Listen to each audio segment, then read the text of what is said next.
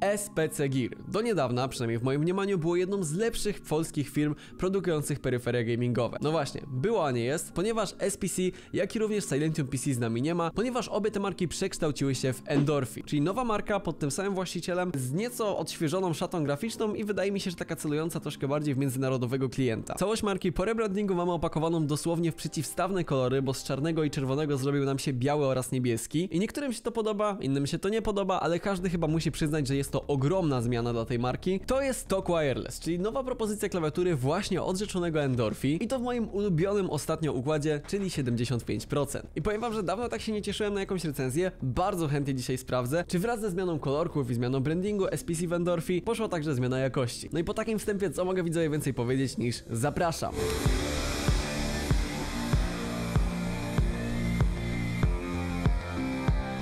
Cenie 360 zł otrzymujemy bezprzewodową klawiaturę wraz z kablem w oplocie, który posiada również wypustkę utrudniającą jego odłączenie. Kick-up puller, switch puller, a także co mnie zdecydowanie pozytywnie zaskoczyło, dongle USB 2,4 GHz, który szczególnie powinien przypaść do gustu graczom, ponieważ za pomocą tego dongla możemy uzyskać znacznie niższe opóźnienia, aniżeli po prostu podłączając klawiaturę po Bluetooth. Tutaj po prawej stronie klawiatury mamy taki mały przełącznik, który pozwala nam włączyć tę klawerkę zarówno w trybie bezprzewodowym, jak i przewodowym i możemy do niej sparować aż do trzech urządzeń. Zasięg, jeżeli chodzi o Bluetooth, szczerze powiedziawszy, oceniam całkiem dobrze, e, bo byłem w stanie jeszcze z tego pokoju, który jest na drugim końcu mieszkania, sterować telewizorem, który znajduje się w salonie. Nie mierzyłem tego jakoś dokładnie, ale na pewno muszę przyznać, że jest to powyżej oczekiwań. Całość klawiatury Endorphi wykonało w designie floatki, czyli takim odsłaniającym nam wszyściutkie przełączniki, co dodatkowo podkreśla gamingowy zadzior tej właśnie klawiatury. Natomiast jest ona moim zdaniem na tyle subtelna, że poza powiedzmy jaskinią gracza pasuje także i na przykład do salonu, jako klawiatura podpięta do telewizora. Oczywiście w tym przypadku z wyłączonymi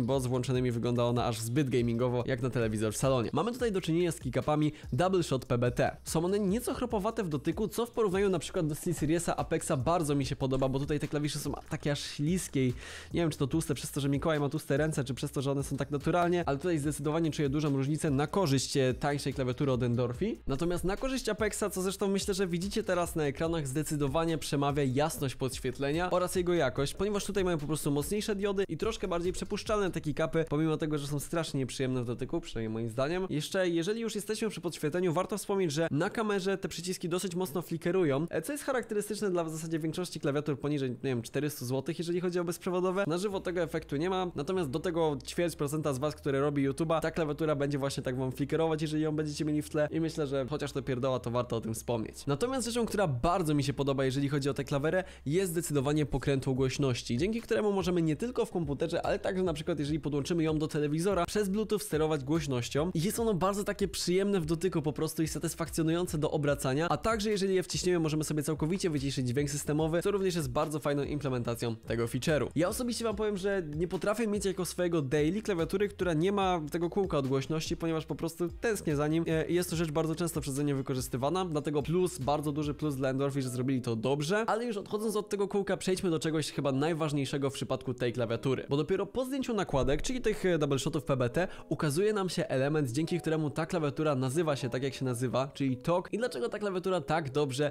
i satysfakcjonująco brzmi czyli oczywiście switche i stabilizatory. Te pierwsze to linearne cableboxy, w moim przypadku czerwone, które zapewniają gładką i konsystentną pracę. Warto zdecydowanie wspomnieć, że są one przesmarowane i to fabrycznie, co jak na klawiaturę bezprzewodową do 400 zł jest naprawdę bardzo fajną rzeczą i też to przesmarowanie zapewnia nam oczywiście dużo lepszy dźwięk z wciskania klawiszy, który w przypadku tej klawiatury jest absolutnie cudowny i go pokochałem.